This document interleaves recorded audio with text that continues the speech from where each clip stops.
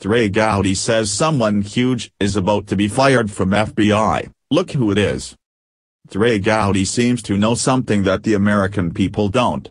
Andrew McCabe cannot be trusted at this point to be an impartial investigator of Hillary or President Trump.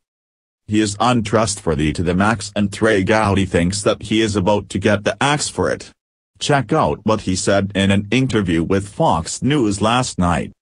I'll be a little bit surprised if he is still an employee of the FBI this time next week, Gowdy told Fox News when asked his thoughts on McCabe's upcoming hearing. Check out this video via Fox News. FBI Deputy Director Andrew McCabe cancelled his appearance before the House Intelligence Committee on Tuesday, which is ridiculous in itself. He is believed to have cancelled because he would be asked about the demoted Justice Department official Bruce Ohr and his wife. Or his wife worked with Fusion GPS during the 2016 presidential election.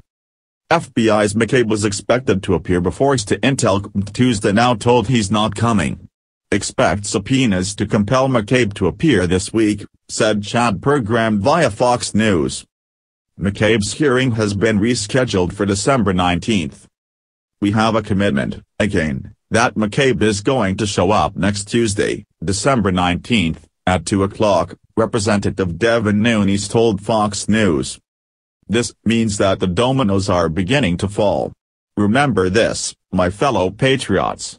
The deep state, the media, and the swamp may look like they are going to win against Trump, but they are getting themselves closer and closer to defeat.